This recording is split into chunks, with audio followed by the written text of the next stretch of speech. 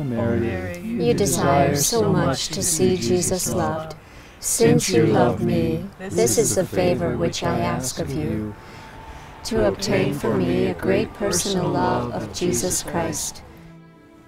People do know about Our Lady of Combermere because it's an official title, and people do pray to her that hear about her in this place and our community. People sometimes will come to the statue and they will start to weep and not know why. Why are they weeping? Because there's something very deep, beyond the rational, beyond the visible, that's happening. Love. I think they feel loved. Mary works in hidden ways. I would say if there are miracles, the ones that are most important are miracles of the heart, of conversions, Many people come here and have powerful experiences of God and their lives are turned around.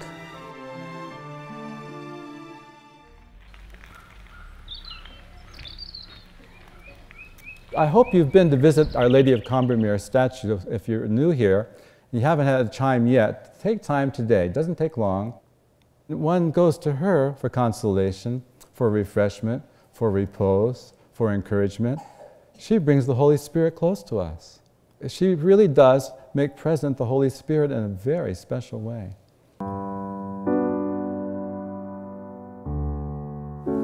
There's a nice little book that we have that tells the story of Our Lady of Combermere.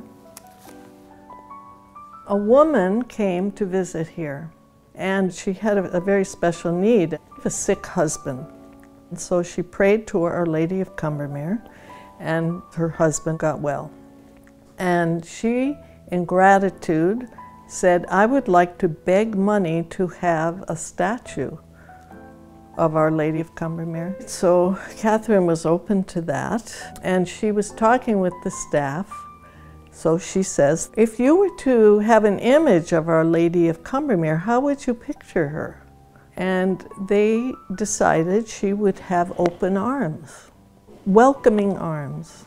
Anyone who comes here to this place, she would welcome them. The Mother of God would welcome them.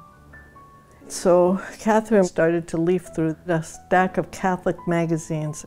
And there is this image by an artist named Frances Rich, who lived in Santa Barbara, California, of what we now have as the sculpture or statue of Our Lady of Combermere.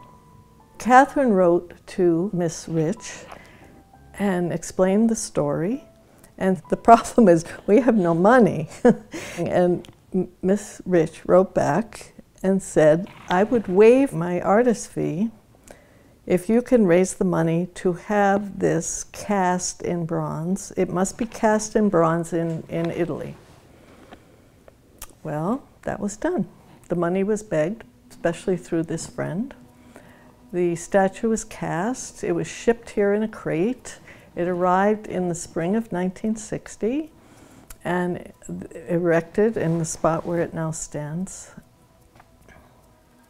So I became an applicant and went through all the things that applicants go through and uh, took my promises in 1960 on August the 15th. That what was significant about 1960 was that was the year of the arrival of Our Lady of Combermere.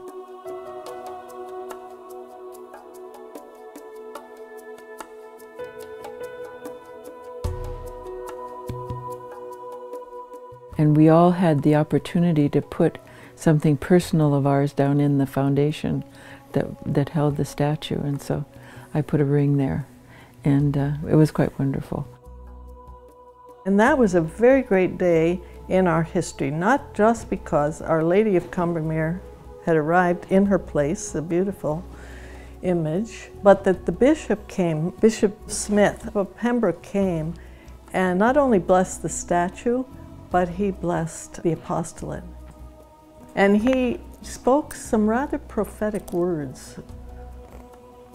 Bishop Smith, I know that as the years go by, great graces will flow out all over this diocese, all over Canada, the United States, and the rest of the world through Our Lady of Combermere and the great work to which these people have dedicated their lives.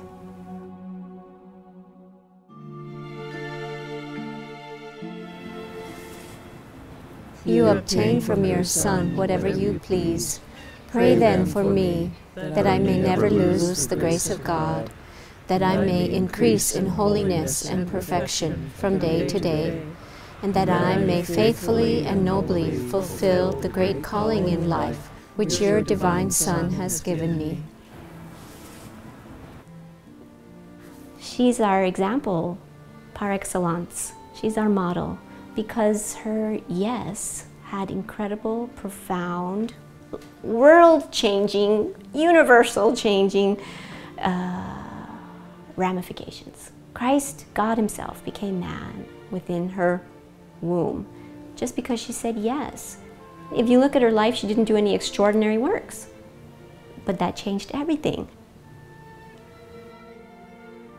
We hope that God will continue through the hands of our Blessed Mother, the dispenser of all graces, to bless this hallowed spot. We seem to be living in a confused world, one becoming more confused all the time. As the years go by, it seems to me that the solution to the things troubling us will be cared for by Our Lady. She promised to help us so long as we do our part. Catherine was, uh, she, she's, it's, it's a wonder she didn't faint because to hear that, those words, they're pretty, pretty big affirmation from your local bishop.